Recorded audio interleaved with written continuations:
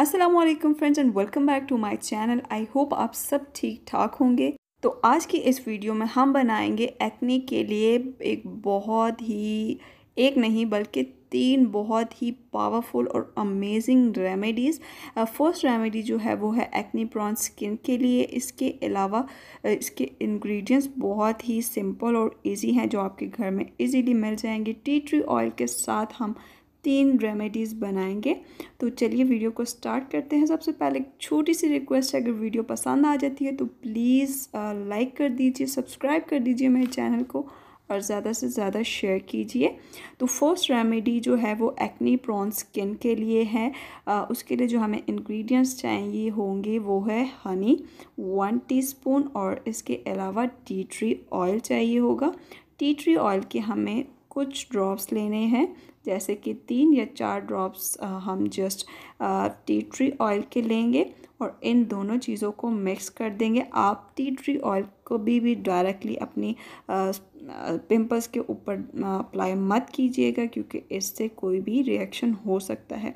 तो इन दोनों चीज़ों को हमने मिक्स कर दिया है। ये थी हमारी फ़र्स्ट रेमेडी तो और आपने इसको अपने पिंपल्स के ऊपर कुछ इस तरह से कॉटन बर्ड की मदद से आपने इस तरह से अप्लाई कर देना है। बहुत ही आसान लेकिन बहुत ही ज़्यादा पावरफुल रेमेडीज़ हैं ये तीनों।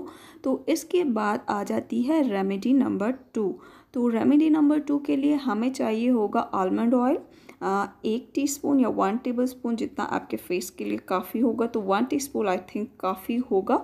वन टीस्पून यहाँ पे मैंने आलमंड ऑयल के लिया है और इसके अंदर मैं ऐड करूँगी दो से तीन ड्रॉप्स जो है, ये जो टी ट्री ऑयल के। इसमें मैंने two two three tea sorry drops मैंने टी ट्री ऑयल के ऐड किए हैं और इनको हमने अच्छे से मिक्स कर देना है।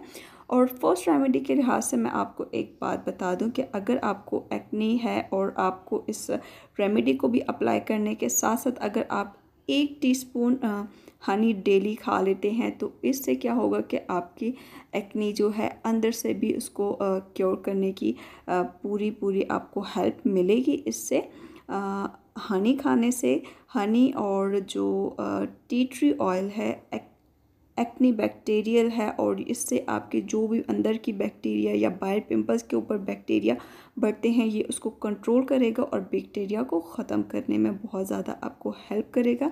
तो ये सेकंड रेमेडी को भी आपने अपने फेस पे अप्लाई कर देना है और इसको आप नॉर्मल वाटर से वॉश भी कर सकते हैं या आप स्किन पे इसी तरह छोड़ भी सकते हैं। इसके बाद आ जाती है थर्ड रेमेडी जो कि है टोनर तो टोनर हमने क्या करना है? टोनर हमने इस तरह से एक स्प्रे बॉटल ले लीजिए, उसमें आप सात से आठ टेबल स्पून जो है सिंपल सादा वाटर के ले लीजिए और उसके अंदर पाँच से छः ड्रॉप्स जो है टी ट्री ऑयल के डाल दीजिए और ये आपका एक अमेजिंग सा टोनर एक्ने के लिए रेडी हो जाएगा और ये टोनर और ये दो रेमेडीज़ आपके एक्नी स्कार्स और एक्नी मार्क्स और जो आपके रैशेज हो जाते हैं स्किन पे आप धूप में निकलने से आपको अगर फेस पर रेडनेस हो जाती है तो उनके लिए बेहतरीन रेमेडीज़ है। आप इसको ज़रूर ट्राई कीजिएगा और टी ट्री ऑयल जो है एक्नी के लिए बहुत ही ज़्यादा लाइक बहुत यूज़फुल माना जाता है। तो ये आप इस रेमेडीज़ को दिन में, रात में या आप किसी भी टाइम इसको यूज़ कर सकते हैं। लेकिन करना आपने ये है कि आपने इसको मुसलसल यूज़ में रखना है। आई होप आपको आज की वीडियो पसंद आई हो तो प्लीज़ लाइक सब्सक्राइब और कमेंट कर दीजिएगा। अल्लाह हाफिज़।